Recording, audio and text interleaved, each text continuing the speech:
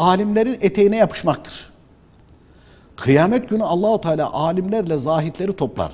Zahitlerin cennete girmelerini emreder. Zahitler cennete girer. Alimler kalır. allah Teala alimlere buyurur ki sizleri burada bırakmam hapsetmek maksadıyla değildir.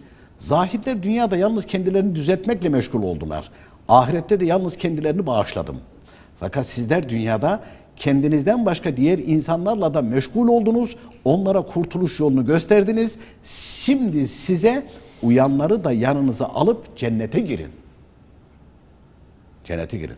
Alimler de arkadaşlarını cennete girerler. Ne kadar uyduysa değil mi? Evet. Bunun bir sınırı da Yani yok. o zata mesela İmam Rabbani Hazretleri'ne, Mevlana Ali Bağdadi Hazretleri'ne, ondan sonra Mevlana Celaleddin Rumi Hazretleri'ne, Murad-ı Müzevi Hazretleri'ne, Mehmet Emin Tokari Hazretleri'ne Allah'ın sevdikleri bunlar. Yani onların hayatlarını, kitaplarını okudun. Onlar zaten ehl-i sünnet itikadında olmazsa evliya olamaz. Zaten evliya ehl-i sünnet itikadında olanlardan olur. O 72 bidat fırkasından evliya çıkmaz. Olmaz da zaten.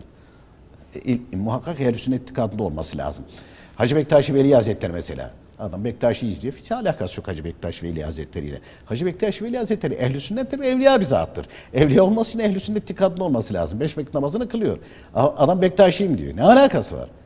E mesela şimdi var ya öyle e, biz diyor işte Mevleviyiz falan. Adamda namaz yok, niyaz yok, Mevlevi. Ne alakası var Mevlana Celaleddin Rumi Nerem Hazretleri'yle? benziyor yani. Nerem benziyor? Hiçbir tarafın benzemiyor.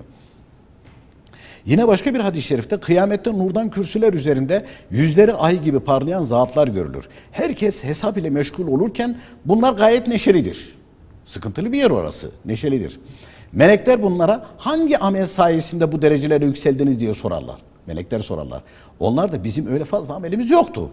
Hani bizi dinleyenler ve izleyenler de diyebilirler ya ne anlatıyorsunuz siz? Bizim öyle bir amelimiz yok. Ah işte onların da bak. Bizim öyle fazla amelimiz yoktu. Ancak beş vakit namazımızı doğru olarak kılar. Resul-i Ekrem'in aleyhissalatü vesselam adı anılınca ona olan sevgimizden dolayı ağlar. Allahu Teala'nın verdiğine şükreder, itiraz etmez.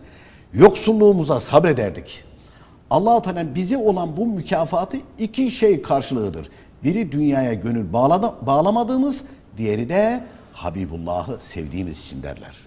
Bitti. Yani bunlar dağlar gibi zekat vermemişler, hayır hasenat yapmamışlar. Bu özelliklerinden dolayı transit geçiyorlar. Transit geçiyorlar.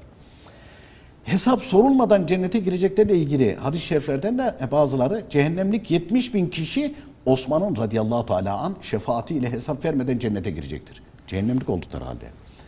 Günahları hatırlayıp ağlayan hesap görmeden cennete girecek.